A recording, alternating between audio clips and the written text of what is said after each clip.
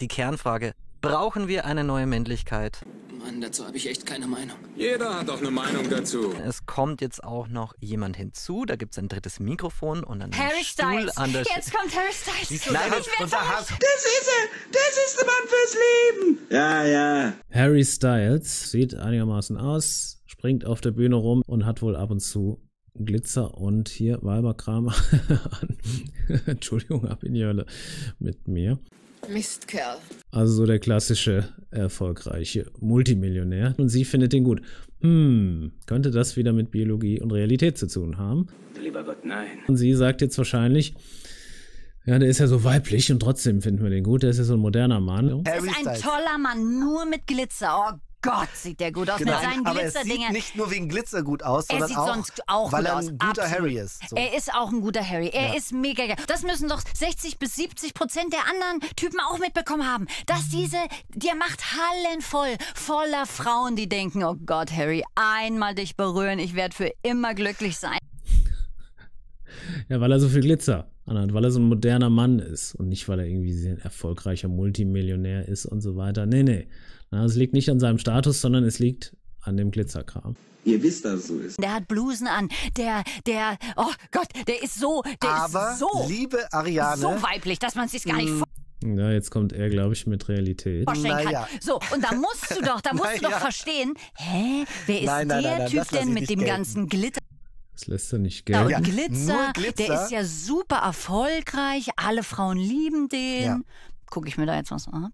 Er erfüllt auch wieder in vielen anderen optischen Kriterien klassische Männlichkeit. Ja, ja, der Typ ist, ist ganz gut. Ist ganz gut. Immer wieder dann die Zurückruderei und so weiter. Aber er lebt nicht komplett in Wolkenkuckucksheim. Ja, könnte ich mir vorstellen, dass der privat bei einem Bier durchaus normal ist, wenn er halt nicht gerade arbeiten muss für die öffentlich-rechtlichen. Der jetzt wie ein ganz so gewöhnlicher Typ aussehen würde und würde seinen äh, Glitzer Mhm. Mit tragen, Glitzer? ja, dann sieht er eher aus wie Elton John. Gildo, Gildo Horn. Ganz genau. Also ja, vom Aussehen her, da hängt es noch gar nicht so wirklich ab in dem Fall, obwohl er auch einigermaßen hier einigermaßen aussieht, der liebe Kollege, vor allem hier, so, sieht doch ganz, ganz gut aus und so weiter. Aber er ist halt auch ein Weltstar, wahrscheinlich. Ich merkte, ich kenne ihn in- und auswendig, aber er steht halt auf der Bühne und hat Millionen Fans und ist Multimillionär. Hm, hm, warum ist das denn für Frauen attraktiv? Ach, wegen den Glitzerklamotten. Ganz klar. so ein bisschen ist das so etwas in die Tasche lügen, weil trotzdem kommt er natürlich eigentlich als Male Model. Wenn der Harry Styles nicht so aussehen würde, wäre das auch schon wieder eine andere Nummer. Genau, aber ich sage, die Message ist, du kannst Glitzer tragen, obwohl du ein Mann bist und du bist dann kein Lauch, sondern Frauen denken sich, ey, ich finde dich super attraktiv. Wenn du gleichzeitig Multimillionär Es bist. geht eher nur darum, Wenn du super attraktiv bist.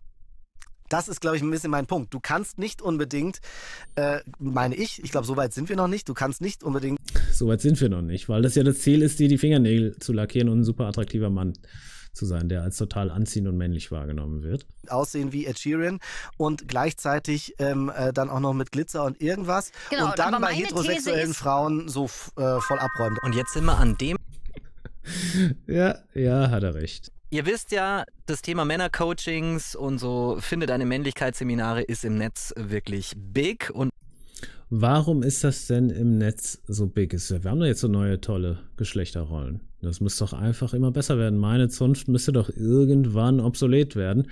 Warum ist sie das denn nicht? Hm, Überraschung wieder. es gibt auch noch andere Angebote, die sich speziell an Männer richten und so eins hat unser Gast besucht. Es war ein sehr spezielles Erlebnis, sag ich mal. Holen wir ihn mal rein. Apropos Kann sein. bedrohliche Männer. Oleg war bei einem Rudelworkshop Genau, jetzt kommt der Typ hier von Die Frage. Da gerne mal, lieber Cutter, bitte wieder das Video einblenden, als ich ihn hier verarztet habe beim Rudel. Er sitzt da, warum auch immer, im Schlafanzug.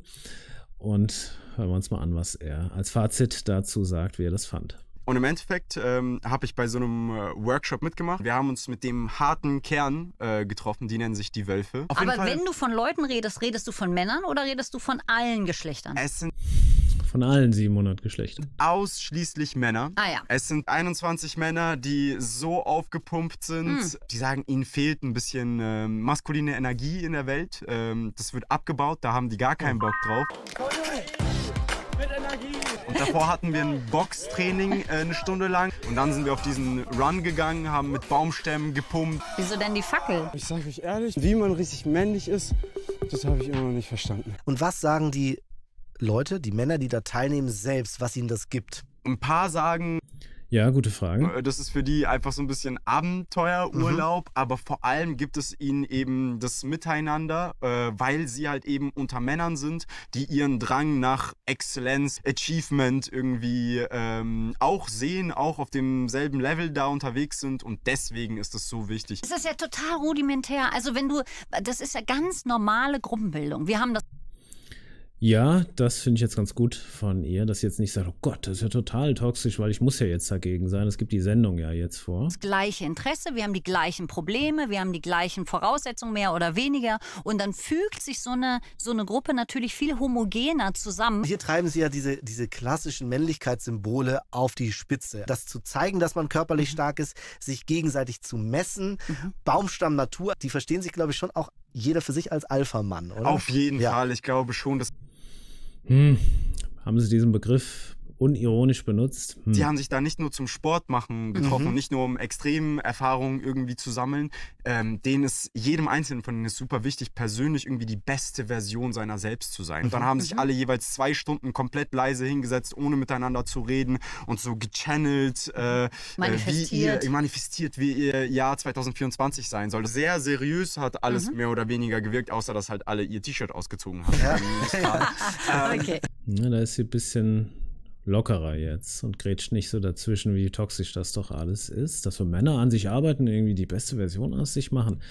Also, ja, wenn sie jetzt so ganz Hardcore-Feministin wäre, dann würde sie das jetzt absolut grauenhaft finden. Männer, die an sich arbeiten, irgendwie besser werden wollen, um Gottes Willen. Jetzt Weil bis jetzt finde ich es total gut. bis jetzt, jetzt denke ich mir, gut, das mit dem, wir müssen uns jetzt messen, da bin ich nicht so ein Typ für, aber das ist, ist also, wir machen Sich messen ist schlimm, aber ne, da geht's ja jetzt. Sport, ne? Wir sind so ein bisschen roher vielleicht, Mhm. okay, alles klar. Wir manifestieren, wo möchte ich hin mit meinem Leben und so. Da setze ich mich mal hin und schreibe da mal mein Journal. Das finde ich bis jetzt alles noch super. Ja, das hat mich überrascht, so wie sie bisher hier vorher war. Also das finde ich sehr gut. Da war sie jetzt mal ganz, ganz normal und gar nicht so feministisch dagegen protestiert, wie, wie gewalttätig und schlimm das doch alles ist. Und dass ja automatisch alles auch rechts ist und rechts ist wieder Hitti. Also da denke ich mir aber, du, mach, mach das mit deiner Fackel am Tag. Das verstehe ich nicht, aber wenn es dir Spaß macht, Aber jetzt- mach das. Ja, hat sie schon auch Jetzt recht. Und ja. deswegen finde ich jetzt- bis jetzt noch, das macht doch Spaß, ist doch toll, mach das doch mal. Aber jetzt ja, gut. kommt vielleicht was Vielleicht kommt Eigenartiges was, wer weiß, wie, wie, äh, wie er darauf re reagiert. Sie hatten eine Überraschung für mich. Das ist, das ist ein Penis, oder? Das ist von einem Ochsen? Ach so, Okay. ein Ochsen. Ist gut Ein fürs Testo. Ochsenpenis. Und den haben wir dann gegrillt. Die hauen sich auf ihre Brust wie Affen. Oleg, und Du schreien hast jetzt die Ehre, den Ochsenschniel zu verkosten. Müssen da alle immer nackt sein? Ich weiß es nicht. Aber ein bisschen Abhärtung ist schon grundsätzlich in Ordnung.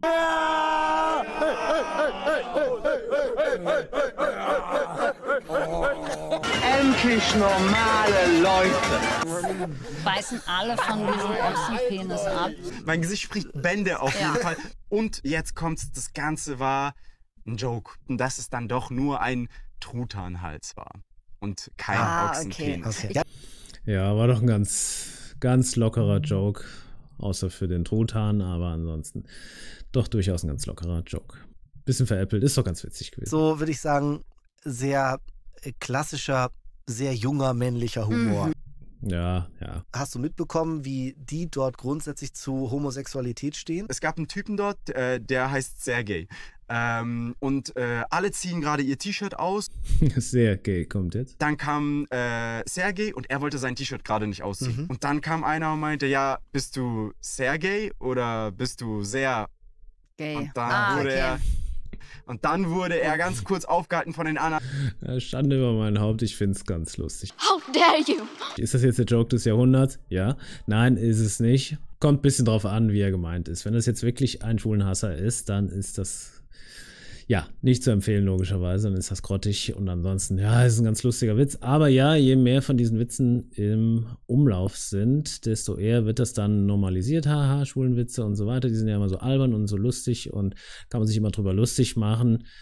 Ja, gesamtgesellschaftlich ist das so eine Sache. Aber man kann auch mal einen schwulen Witz machen. Wie ich immer sage, meine Nachbarn sind schwul total lockere Leute. Die machen auch schwulen Witze und sind locker damit. Ist aber vielleicht auch nochmal was anderes. Kommt drauf an, wer das macht und mit welcher Absicht und wie oft.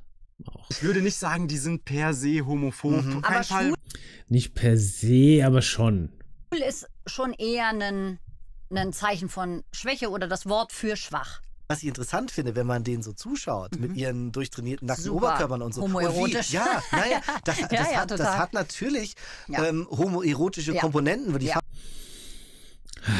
Ja, kann man rein interpretieren. Passen sich auch gegenseitig an und ich glaube, sie, ey Bro, also sie sta stabiler Typ und so, die am weitesten weg sind, also zumindest vermeintlich mhm. ähm, von Homosexualität oder die, da, also ne, die das weit wahrscheinlich von sich Sagen sie auch von Top Gun 1 immer, weil in irgendeinem Film hat es der Tarantino doch gesagt, ja, das ist eigentlich ein, ein Homo-Film so ungefähr, aber das ist auch nur Quatsch. Nur weil sie da nackt rumspringen und so weiter, ist es jetzt nicht direkt homoerotisch alles. Das wird auch oft rein interpretiert, wo du als Typ gar nichts drüber denkst. Einfach nur denkst, ja, es ist halt Abhärtung und oben ohne hier rumspringen, ja. Wenn ich denen sagen würde, so ein bisschen homoerotisch ist bei euch eigentlich ja. auch, oder? Hat das was mit dir oder mhm. deinem Bild von Männlichkeit gemacht? Das hat auf jeden Fall was mit mir als Oleg, der ja ein ja. Mann ist, gemacht, weil ähm, ich musste mich zum Teil überwinden. Vor allem dieses Eisbaden hat mir, hat mir richtig den Rest gegeben. Aber im Endeffekt, nach ja, ist doch gut. Sich überwinden müssen ist doch was Gutes. Nachdem man durch war damit, mit etwas, worauf man eigentlich gar keine Lust hatte, da war man schon ein bisschen stolz. Ja. Ja, das ist aber nicht modern, das ist aber ein altes Rollenbild was ihr jetzt hier propagiert? Ähm, ob das jetzt irgendwie mit meiner Männlichkeit zusammenhängt, sei mal dahingestellt. Darf ich jetzt nicht sagen im öffentlichen Fernsehen. Ja, natürlich hat es auch mit Männlichkeit zu tun. Hier sich überwinden und so weiter und so fort. Ich finde das super männlich. Wenn Sergei sagt, vor mir stehen sehr gut gebaute 15 Männer, die sich wie Silberrücken auf die Brust schlagen und schreien und mich dann noch obviously geringschätzig als sehr, sehr gay. War das jetzt geringschätzig oder war es wirklich nur ein blöder Joke? Das ist ja auch die Frage. Hm. Anmachen und ich dann trotzdem noch sagen würde, halte doch die Fresse, Alter, ich, ich mache, was ich will und behalte mein T-Shirt an, würde ich mir denken, alles klar, da haben wir den Stärksten von der Gruppe, der sich genau dagegen stellt und sagt, ich mache genau, was ich möchte. Wird jetzt so ein Kampfszenario draus gemacht. Viele Frauen raffen das auch nicht. Das ist halt so ein bisschen Verbrüderung unter Männern, ein bisschen Jokes. Also, und ja, müssen jetzt immer sexistisch sein. Nein. Und ihr könnt mir gar nichts. Da, das, da sage ich als Ariane Alter, finde ich attraktiv. Finde ich sehr männlich. Das wäre Next Level. Next Level, ja, da hat sie aber zumindest wieder Stärke beschrieben als positiv jetzt. Diese genau. starren Männerbilder sind auch eine reale Gefahr für die Männergesundheit. Bei Männern werden statistisch zwar weniger Depressionen diagnostiziert, was aber nicht heißt, dass Männer weniger darunter leiden. Sie suchen sich halt oft auch keine Hilfe weil psychische Probleme ja gleichgesetzt werden mit vermeintlicher Schwäche. Das wäre zum Beispiel was Negatives, wenn du dich dann vor lauter Männlichkeit oder angeblicher Männlichkeit nicht traust, zum Arzt zu gehen und zu sagen, irgendwie brauche ich jetzt mal Hilfe, ja. Finde ich auch ganz gut, dass Sie hier Probleme von Männern auch ernsthaft ansprechen. In vielen Fällen leider auch zum Suizid führt. Ari, du hattest es vorhin schon mal erwähnt. Hier noch die Zahlen dazu. Laut dem Statistischen Bundesamt wurden 2022 75 Prozent der Suizide in Deutschland von Männern begangen. Stellt euch mal vor, wenn das andersrum wäre, wenn das bei Frauen der Fall wäre, was dann hier tagtäglich durch die Medien geistern würde. Tun Sie was! Tun Sie was! Tut irgendwas! Laut aktuellen Zahlen des Gesundheitsministeriums sterben deutlich mehr als doppelt so viele Männer in Deutschland an den Folgen von Alkoholmissbrauch. Insbesondere ein hegemoniales Männlichkeitsmodell, dass Männer stark sein zu haben, dass Männer nicht versagen, dass Männer ähm, rational sind, dass doch, du sollst stark sein, nicht versagen und rational sein oder zumindest darauf hinarbeiten, ja. Dass Männer ähm, nur eine reduzierte Emotionalität an den Tag legen. Auch sinnvoll, kein Fähnchen im Wind zu sein, dich nicht von deinen Emotionen ja, steuern zu lassen. Tatsächlich dazu führen, dass Männer ihre psychischen Belastungen nicht gut wahrnehmen und somit auch ähm, nicht Hilfe in Anspruch nehmen und so am Ende auch gesund zu bleiben. Ja, das wäre schlecht, so weit zu gehen. Wie gesagt, das wäre schlecht. Trotzdem sollst du halt das, was sie jetzt hier als negativ aufgezählt hat oder tendenziell negativ, doch das bitte an den Tag legen. Aber wenn du merkst, du bist belastet, dann halt Hilfe suchen. Ja, ganz normaler Typ wie immer. Also alles absolute Raketenwissenschaft. Aber ja, viele Männer können das nicht und das ist durchaus so ein bisschen wie die Gewalt ein negativer Aspekt des ganzen Männertums sogar im Suizid enden kann. Gleichzeitig ist natürlich dieses Unterdrückte auch ein Problem für Frauen, wenn es dann beispielsweise um Gewalt in der Partnerschaft geht oder mhm. um Femizide und dergleichen. Allein die Stimmung, also gesellschaftlich, ne? Wenn wir viele Männer haben, die psychisch krank sind, was total in Ordnung ist, aber die sich ähm, aus Gründen von, ich möchte nicht eingestehen, dass bei mir irgendwas nicht so optimal läuft. Ähm, ja, ja, ja. Wenn es schlecht läuft, dann such dir Hilfe, ja. Wenn die sich alle in unserer Gesellschaft äh, bewegen. Und ja, das kann auch in Wut und Frustration umschlagen, durchaus. Ja, ja, das wäre dann wirklich der toxische Part, dieses bescheuerte Wort, aber ja, naja. Dann ist das natürlich auch eine viel aggressivere ja, Gesellschaft. Absolut. Dagegen würde wieder was helfen? Feminismus? Nein, sinnvolle, positive Männlichkeit. Psychisch krank zu sein ist ja sozusagen schon das Schlimmste, was dann passieren mhm. kann. Die Vorstufe ist, und das betrifft dann vermutlich auch noch viel mehr Männer, nicht genau über seine Emotionen entweder Bescheid wissen, mhm. nicht darüber reden mhm. und auch vielleicht Angst davor zu haben, sie zu zeigen. Muss auch, wie gesagt, nicht immer dieser Lappen sein, der den ganzen Tag drüber sinniert und quatscht und so weiter. Einfach feststellen, hier, mir geht's nicht gut, ich habe negative Emotionen und negative Gedanken und ich habe nicht das Leben, was ich gerne hätte, also Hilfe in Anspruch nehmen. Mhm. Und das betrifft, glaube ich, viele. Mhm. Männer müssen sich äh, trauen, irgendwie offener zu sein und über ihre Gefühle zu sprechen und eben auch Schwäche zu zeigen. Mhm. Auf der anderen Seite, glaube ich, ist es aber auch so. Nein, du sollst nicht überall Schwäche zeigen. Geh halt zum Coach, zum Therapeuten und erzähl einfach, was los ist und dann kann dir je nach Thema hoffentlich geholfen werden. Das ist wahrscheinlich sowieso, zumindest aus meiner Sicht, das Geheimnis von so Rollenbildern, dass es in Wirklichkeit ähm, keine festen Rollenbilder sind, sondern mhm. so fluide. Ja, das sage ich ja auch immer. Deine Persönlichkeit ist nicht in Stein gemeißelt, sondern ein fließendes Konzept.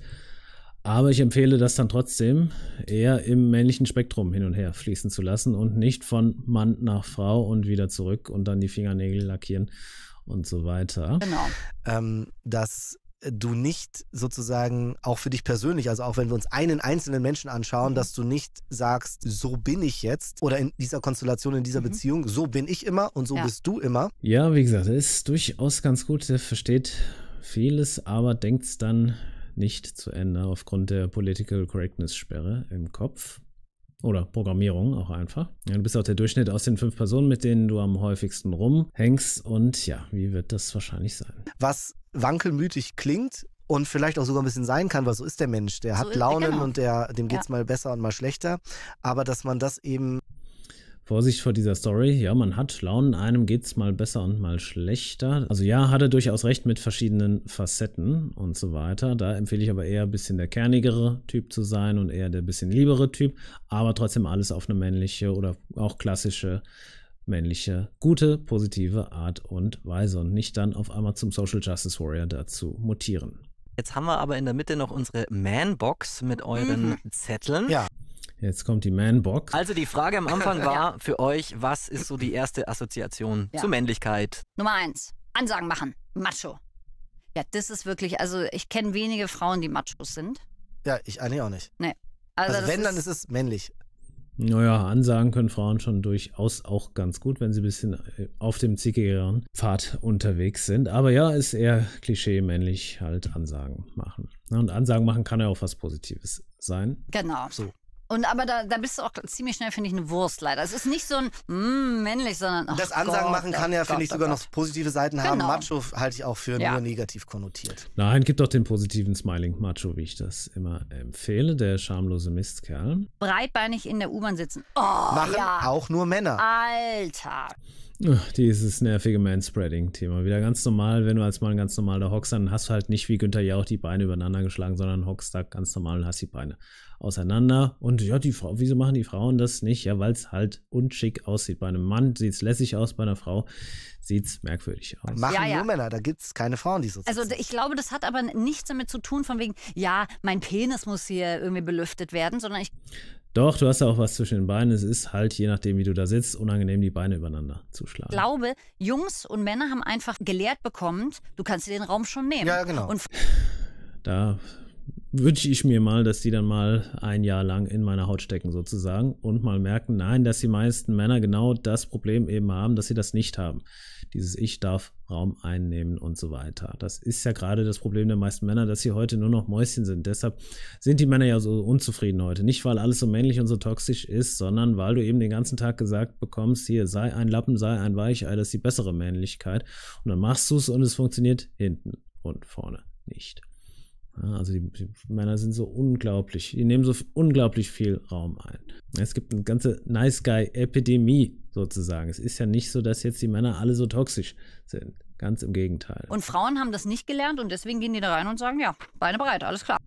Ja, es sieht halt auch einfach aus wie Hund. Wenn du jetzt als Frau da so breitbeinig da hockst, es sieht halt einfach wild aus. Außerdem kommt das auch noch aus einer Zeit, als Frauen hauptsächlich Röcke getragen haben. Meine Güte.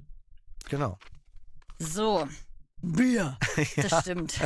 Also irgendwie Bier in Deutschland ist schon so irgendwie mit Männern verbunden. Finde ich auch. So, nicht jeder Mann trinkt Ja. Bier, Frauen trinken auch Bier. Ja. Ja, Fußball, Bier und Alufelgen ist auch so die Klischee-Männlichkeit. Da empfehle ich auch drüber hinauszuwachsen, beziehungsweise noch mehr am Start zu Klar, haben. aber das waren jetzt ja eher so Genau. äh, die Klischees, von denen ich aber finde, Ja. dass sie tatsächlich stimmen. Jetzt kommen deine Ja. intellektuellen Jetzt äh, pass Karten auf. hier. Die mit dem Kreuz unten, die sind Ah, Stereotyp und die mit dem Herz unten, die finde ich gerade männlich. Okay, jetzt habe Ja, Auf, auf Deutsch, die sind Quatsch. ich hier etwas mit. Mit dem Herz. Herz? Und das ist, finde ich, sehr enttäuschend. Das sehe ich jetzt schon. Das ja, findet ja. die Ari, mal. das findet die Ari gut. Ja. Und hier drauf steht groß und stark. Groß und stark findet sie gut. Hm, könnte das wieder mit Realität zu tun haben. Ja, stellt euch diesen Disconnect in der Birne vor. Du bist dann stark feministisch, aber findest groß und stark gut. Ja, was das für ein Disconnect in der Birne sein muss. Und größer und stärker. Und größer und stärker. Und das bedeutet quasi, ich finde das schon sehr attraktiv, wenn jemand größer ist und stärker, weil ich mich dann beschützt fühlen kann. Sie gibt es immer hinzu. Sie können es ja jetzt auch verschweigen und verneinen und oh, das kann ich jetzt nicht erzählen, weil es jetzt nicht feministisch ist, nicht dem Playbook entspricht. Sie gibt es immer hinzu. Ähm, die Frage ist natürlich, vor was suchst du Schutz? Mhm. Wo man groß und stark sein muss? Und das Schlimmste Ja, da sind es wieder die bösen Männer. ist ja, Ja, wenn obwohl es auch stimmt, wenn wirst du am ehesten von Männern natürlich angegriffen. man sagt, ja, dann kann ich dich beschützen. Vor wem denn? Dann ist die Antwort meistens, wenn man ganz ehrlich ist, oh, vor anderen Männern. Warum musst du mich vor anderen Männern beschützen? Oh, und dann wird das plötzlich sehr ja, und das mm, ist, unschön. ist interessant. Ja, noch gerade richtig gerettet. Aber sie hat es doch gemerkt, oh, das war jetzt nicht so ganz feministisch, deshalb müssen wir da wieder die Kurve kriegen. Nehme ich mal an, dass das intern so ablief. dass auch du als Hat sie aber nicht unrecht, ja, das wollen viele Männer auch unter den Teppich kehren. Wenn du angegriffen wirst, wirst du natürlich in der Regel von Männern angegriffen. Aber wenn du ein Mann bist, wirst du auch noch mehr von Männern angegriffen, als wenn du eine Frau bist. Men are insecure about the size of their dicks, and so they have to kill one another over the idea. Trotzdem hast du natürlich noch schlechtere Karten, wenn du eine Frau bist und körperlich noch unterlegener bist. auch du als sehr feministische Genau, ja. Frau, die eigentlich ja sonst eben nicht Mhm. diese Männlichkeitsklischees äh, befeuert oder bevorzugt, Genau. trotzdem Ja, in der Rübe. da Trotzdem. sagst, naja, Ja. aber mein Mann soll schon groß und stark sein oder Genau. größer und stärker als Ja, ich. ja. Immer dieses Größe-Thema. Ja, Größe schadet nicht, aber nur weil du jetzt 1,85 oder 1,90 bist, bist du jetzt automatisch gut mit Frauen. Woher haben die Leute das aus dem Internet und weil es beim Online-Dating durchaus relevant ist, aber in der Realität ist das jetzt nicht so wahnsinnig relevant, wie es immer alle gerne hätten. Aber die Leute haben ja ihr Weltbild nur noch aus dem Internet. Die meisten Leute sind ja nicht unterwegs und machen Erfahrungen, wie es wirklich draußen ist im Dating-Game, sondern gucken halt irgendwelche, passiv irgendwelche YouTube-Videos und da wird dann gesagt, weil es online wirklich auch so ist, ja, ja, du musst so und so groß sein, sonst hast du gar keine Karten und sagen so, okay, dann übernehme ich das jetzt einfach so und erzählen dir das in den Kommentaren auch noch. Ja. Sport mit Herz. Genau, das, das ist meine Sicht. Männer lieben Sport. Das ist eine Schande. Fußball, Sport. Da gehe ich mit meinen Jungs hin. Da mache ich selber Sport. Mensch, da, da, da mache ich nochmal Basketball. Finde ich schon sehr faszinierend, dass es einfach ein, gefühlt einen größeren Drive hat als Männer, äh, Frauen. Und da irgendwie habe ich das Gefühl, ja, Männer und Sport, das passt zusammen. Ja, das bestimmt das Patriarchat und nicht irgendwie die Atome, die das auslösen. Und jetzt kommt noch etwas mit Herz von dir Mhm. versehen. Das heißt, das ist So. was, was du gut findest, was Ja. du dir wünschst, was glaube ich jetzt nicht so allgemein typisch ist. Weinen können ist gleich Stärke. Jetzt muss wieder geweint werden. Bitte nochmal das Hakan-Meme einblenden. Genau, ich finde nämlich, dass äh, es stark ist, wenn du weißt, dass du Gefühle hast, wenn du dich kennst, wenn du deine Gefühle einschätzen kannst und wenn du die Stärke hast, das auch zu artikulieren. Und das ist so überflutet mit Stärke für mich, dass wenn ich einen Mann weinen sehe, der das ähm, nicht mit Scham macht, dann denke ich mir, ey, du hast so ein Selbstbewusstsein, du ruhst so in deiner Mitte. Das ist das Stärkste, was ich finde, was man machen kann. Und deswegen finde ich das Das Stärkste, was man machen kann, ist jetzt vor der Frau zu weinen. Wie gesagt, es kommt ganz drauf an, in welcher Situation, welcher Typ du dann bist, weswegen und so weiter und so fort. Aber nein, der klassische Tipp ist jetzt nicht, werde so stark, dass du vor deiner Frau weinen kannst, sondern nein, krieg dein Leben auf die Kette und dann kannst du weinen, wenn irgendwas ganz Schlimmes passiert, dann bitte vor ihr wegen mir auch ganz normal weinen, aber nicht wegen irgendeinem Kinder. Pille-Palle da vor ihr rumflennen und dann noch der Typ sein, wo sie sagt, um Gottes Willen, es ist einfach nur ein Lappen. ist krass stark, wenn man weint und deswegen finde ich das männlich. Letzter Zettel von der Ari. Toxic Männlich. steht da drauf. Ist also Genau. Sehr, sehr männlich. Du bist die Frau, ich bin der Mann. Ich muss stark sein, ich darf nicht Alpha, weinen. das Bild vom Alpha-Mann. Genau, ich habe die geile Karre. Ich muss mehr ähm, ähm, verdienen als du. Und wenn das andersrum ist, und ich habe einige Freundinnen, bei denen ist es so, das ist dann ein Problem. Mhm. So, und da denke ich, Da hat sie recht. Ja, Lappen, die dann ein Problem damit haben, wenn die Frau ein bisschen mehr verdient. Trotzdem ist es auch für Frauen oft schwierig, wenn die Frauen dann mehr verdienen. Da hat sie jetzt so halbe Sachen aufgezählt, die ich auch ungünstig finde, aber auch Sachen wie hier, du musst ein bisschen Erfolg haben und so weiter, die natürlich sinnvoll sind, das anzustreben und daran zu arbeiten, das auf die Kette zu kriegen. also das Problem haben nur Männer. Du, aber es von ist mir aus auch, kannst du gerne die Kohle nach Hause bringen. ja, aber das ist halt auch Ich hab genug anderes zu tun Genau, auf dem easy. Sofa. Ich kann das aus. Ja. Eben, gar kein Problem. Ah, mehr. das ist kein, kein Thema. Genau. Einmal noch kurz abschließend die Kernfrage. Brauchen wir eine neue Männlichkeit? Ich sag ja, weil Studien belegen, dass die aktuelle Männlichkeit, die wir haben, Menschen einfach krank macht. Die aktuelle Männlichkeit ist ja aber jetzt keine positive, schamlose Misskerrlichkeit, wie ich das empfehle. Ähm, es bedeutet nicht, dass du kein Mann sein kannst. Es bedeutet nicht, dass du jemand sein musst, der du nicht bist. Ähm, wenn du keinen Bock auf Nagellack hast, mach das. Ich finde einfach schön, wenn Immerhin. Männer auch Menschen sein dürfen und sich selber entdecken. Und manchmal möchte ich in die Badewanne und manchmal möchte ich nackt mit einem Baumstamm auf dem Rücken durch Polens Wälder laufen. Mach das. Solange du das willst, cool. Solange das jemand dir anders aufdoktriniert hat und sagt, übrigens, das kleine Kreuz kannst du noch bei der AfD machen, dann mach. Das muss immer mit rein. Und krampfhaft, wie es auf rechter Seite immer heißt. Er ist so linksgrün versifft. Das muss einfach immer mit rein, egal bei was. Ja. Also, ich glaube, ein Bild für alle, das kann nicht funktionieren. Also, das brauchen wir nicht, weil das ist eine. Ein Bild für alle, das kann nicht funktionieren. Es gibt wieder keine Übereinstimmung. Und auch was sie gesagt hat, war ja einfach nur 0815. Ja, wenn dich gut fühlst, fühl dich gut. Wenn nicht, dann fühl dich schlechter. Ist ja schon sehr 0815. Ne? Kein Wunder, dass es halt nur ein Podcast ist. Und das ist, finde ich, auch gar nicht wünschenswert in einer heterogenen Gesellschaft. Ich würde mir wünschen, dass wir fluider werdende Rollenprofile haben und da müssen sich auch aus meiner Sicht beide Geschlechter bewegen, weil wenn Absolut. wir über ein Männerbild reden, hat das zwangsläufig immer auch was damit zu tun in Abgrenzung, was ist eigentlich das Frauenbild und Auch als Frau empfehle ich jetzt, ja, immer eine Frau zu sein und jetzt nicht auf einmal Fußballbier und Alufelgen und jetzt die männlichste Frau da zu sein, ganz komische männliche Eigenschaften an den Tag legen. Außer das, was hier auch hier Durchsetzungsfähigkeit und Gas geben und Disziplin und so weiter und so fort, das gerne mit reinnehmen, aber auch immer noch auf eine weibliche Art und Weise, sonst wirst du halt nicht als tolle Frau wahrgenommen, sondern irgendwie, oh, die hat eine, eine komische männliche Energie am Start. Genau wie die Frauen auch sagen, oh, der ist irgendwie nicht vernünftig männlich, der hat eine komische, viel zu feminine Energie am Start. Und was passiert? Keine Polarität, keine Anziehung. da erwarte ich sozusagen am liebsten von beiden Geschlechtern, dass wir uns aufeinander zubewegen, dass der Mann sehr viel weniger von diesem ganzen Alpha-Gedöns an den Tag legt oder vermeint legen zu müssen, als Ja, wenn da das wirklich negative Alpha-Gedöns mit gemeint ist, ja. Vielleicht jetzt noch ist und umgekehrt. Aber dann natürlich auch, dass die Frauen erkennen, dass wenn auf der einen Seite auf der Liste was dazukommt, vielleicht an weicheren Eigenschaften, dass auf der anderen Seite was weggestrichen werden muss, um Männer nicht zu überfordern. Aber mhm. ganz wichtig ist, ja. finde ich, es kann keinen festen Katalog geben, dass du morgens aufstehst und du bist jeden Tag so, mhm. sondern wenn wir jeden Tag Mensch sind und äh, mal, mal bist du so in die eine Richtung und mal mhm. ich in die andere, dann wäre es.